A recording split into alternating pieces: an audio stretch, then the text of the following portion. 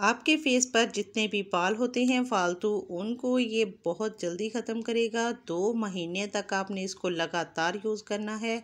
आप इसका रिज़ल्ट देखकर हैरान रह जाएँगे। अस्सलाम वालेकुम views welcome back to my channel beauty by Jaini.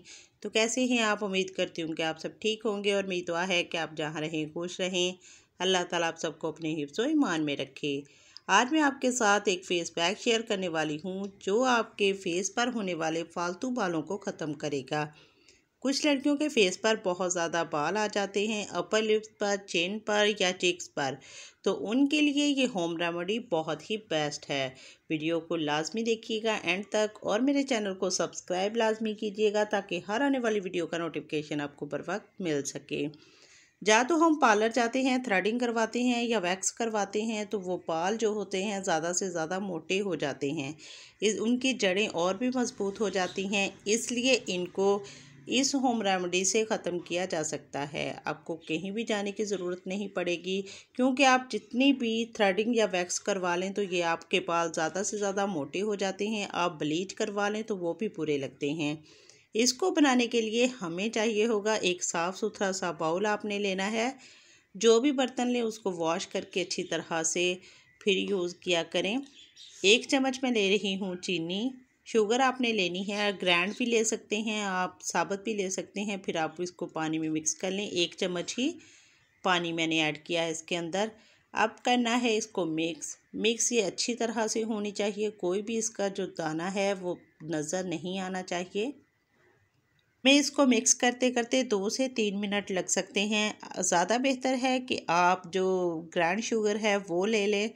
वो पानी में अच्छी तरह से जल्दी हल हो जाएगी, क्योंकि जब तक हम कोई भी चीज़ इसमें डाल नहीं सकते, जब तक ये चीनी बिल्कुल मिक्स नहीं हो जाती। ये देखिए, माशाल्लाह से अब जो चीनी है वो मिक्स हो चुकी है, बिल्कुल।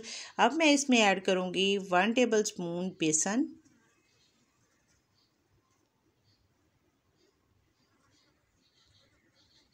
दो चुटकी के बराबर जो है हल्दी वो इसमें ऐड करनी है। आप ज़्यादा या कम भी कर सकते हैं। ये ना हो कि बहुत ज़्यादा कर लें तो फेस पे येलो येलो हो जाता है। इसके साथ मैं ऐड कर रही हूँ एक लेमन का जूस। एक साबत लेमन का जूस जो है वो मैं इसमें ऐड कर रही हूँ। वो बीज भी इसके अंदर चले गए हैं क्योंकि ये फिर आपके फेस पर लगेंगे, इसलिए इनको मैं निकाल देती हूँ। बीज निकाल के इनको मैं मिक्स करूँगी। हल्दी मैं बताने वाली थी कि हल्दी आप जो है, खुली हल्दी वो लिया करें। खुद हल्दी तैयार किया करें, क्योंकि जो पैकेट में हल्दी होती है उसमें कलर बहुत तेज़ होता है। फिर कुछ बहनें कहती हैं कि, मेरा फेस बहुत येलो हो गया था। तो इसी वजह से येलो हो जाता है कि आप जो भी घर में पड़ी हो, वो हल्दी उठा के लगा लेते हैं। और यही बात बेसन की मैं आपको बता दूँ कि आपने दुकान पे पता नहीं कब का पड़ा होता है, जो आप उठाते हो, अपने फेस पर लगा लेते हो। अब घर पे चने की दाल लाया करें, उससे बेसन बना के वो अप्लाई किया करें। ये देखिए इनके फेस पर मैं अप्लाई करने वाली हूँ। ये बाल आप इनके फेस पर देख सकते हैं। इनके फेस पर मैं लगाऊँगी। आपने वन वीक में दो बार इसको यूज़ करना है ताकि आपके जो बाल हैं आहिस्ता आहिस्ता से वो रिमूव हो जाएँ। इस तरह से आपने थोड़ी सी मोटी लेयर जो है इसकी लगानी है। फेस को वॉश ज़रूर करना है। लगाने से पहले किसी भी अच्छे सॉफ्ट से या फेस वॉश से।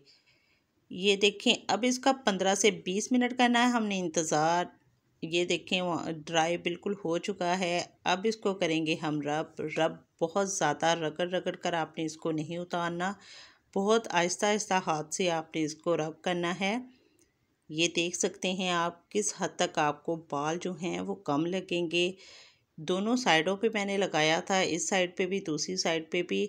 आपने हफ़्ते में दो बार इसको लाजमी यूज़ करना है। आप देखेंगे, एक दो मंथ में आपके फेस पर होने वाले जो बाल हैं, वो बिल्कुल ख़त्म हो जाएँगे। इसके साथ ही मुझे दीजिए इजाज़त, अपना ख्याल रखिएगा। दुआओं में याद रखिएगा। अगर मेरी वीडियो पसंद आए तो लाइक, शेयर करना मत भूलिएगा। मिलते हैं नई वीडियो के साथ। अल्लाह हाफिज़।